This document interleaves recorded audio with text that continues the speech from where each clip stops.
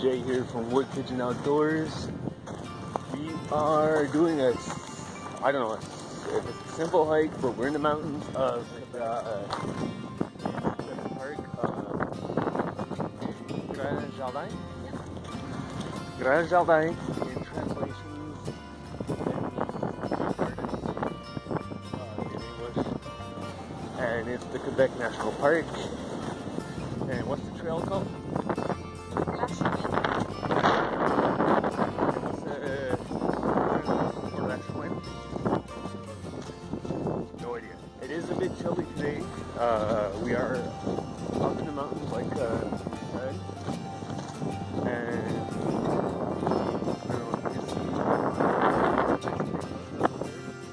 That's not the mountain going up. The mountain we're going to be going up is uh, we'll stop at the curve and show you. There is a lot of birch around here, like everything's birch. But okay, ready? Right up there is where we're going. So I'm gonna bring you along. Bring a new jacket. I'm not wearing my regular jacket. Bill actually got me this jacket for a while ago.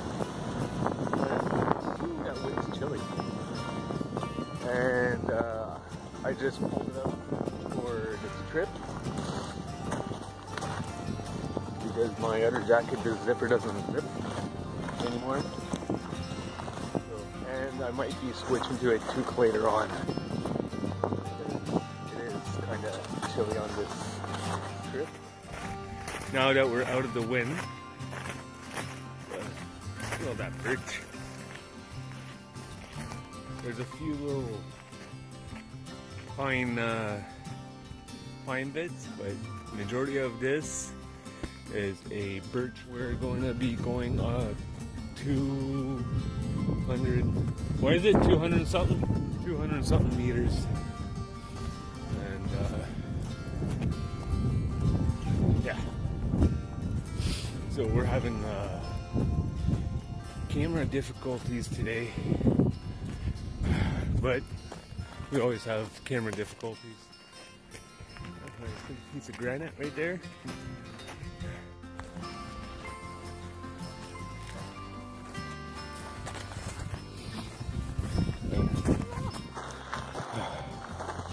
Hi.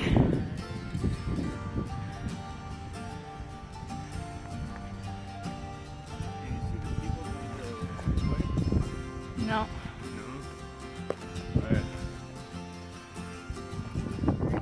Yeah. So those are people just on that ridge line right there. And that's where we started. So, and we got that much to go. Somewhere here. That's where we're going. It's a small batch and it's very young. Uh, this is called bear berries. And uh, What? they, th- these little guys here, like, it's really small. And they create little red berries like this. Right here, guys. Yeah, like these guys here, here, and uh, the natives used to use that as a uh, tobacco substitute to help flavor the tobacco, and you could also eat the berries. And I believe, if I remember correctly, it's for uh, intestinal problems.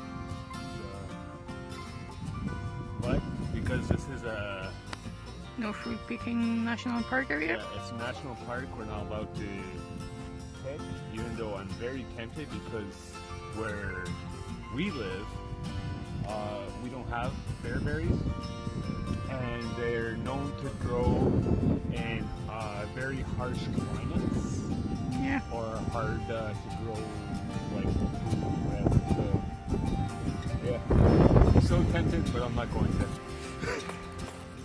There we go. Now we're starting to run into wildlife. Oh shit.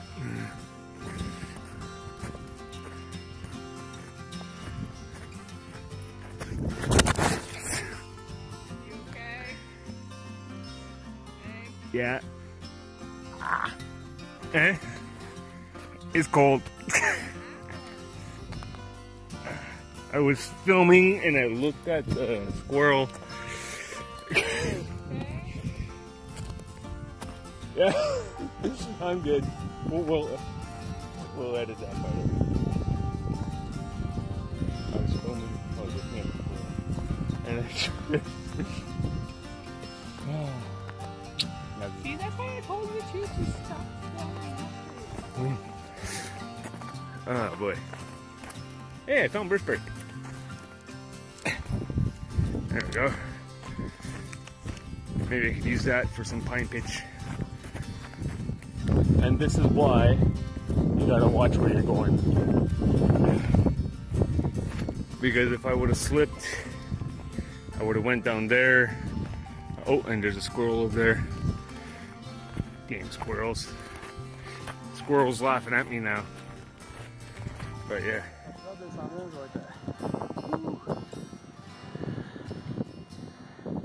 Next stop, that ridge over there.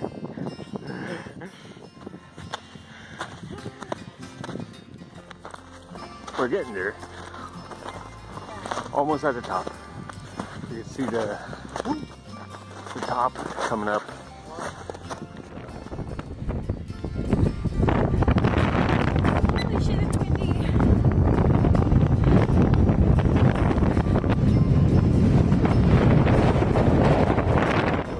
So we started way down there, in that little spot right there. Alright, so I'm not kneeling. I'm actually pulling. Yeah. This is uh, about what? Two feet of snow, Mm. and I'm in. Uh, anyways, what I was trying to do is uh, get out of this. But in this tree here, green stuff. Yeah. Looks like moss, not moss. It's called old old man's beard, Okay. and uh, So it's your beard. pretty much, yeah. And uh, as you see, it's different shades. You got the gray, dead stuff here, and you got a little bit more greener stuff down here. And uh, this is usually really good for fire tender,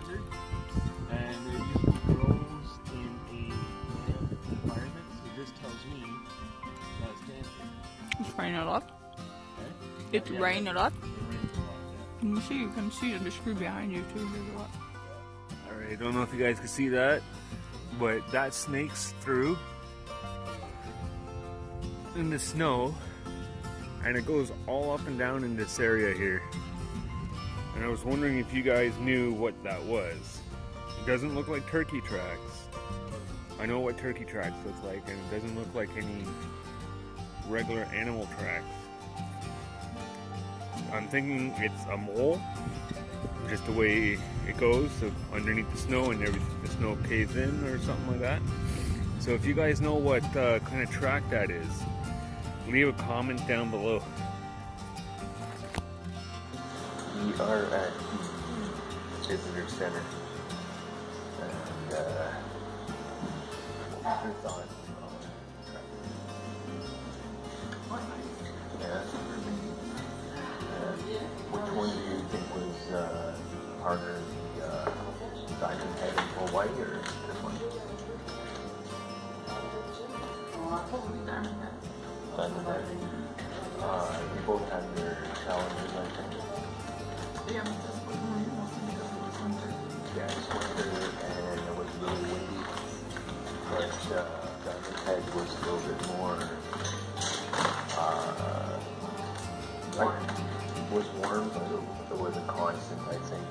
here we were able to stop at points and look, where Diamond Head was just a constant upward no matter what, because of all the traffic and everything.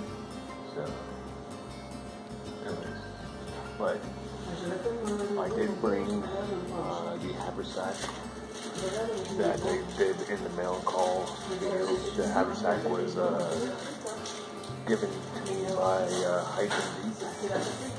So, really useful on this uh, trip. Uh, I like the way it sits. Uh, never really used haversacks before, but uh, like the way it sits. It's, uh, might go on future treks like that. And Got a little souvenir for the for the dangerous trek up the mountain. So, anyways.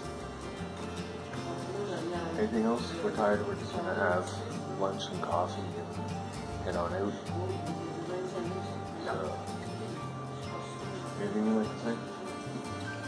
No? Alright. So, until next time, stay safe out there. Cheers.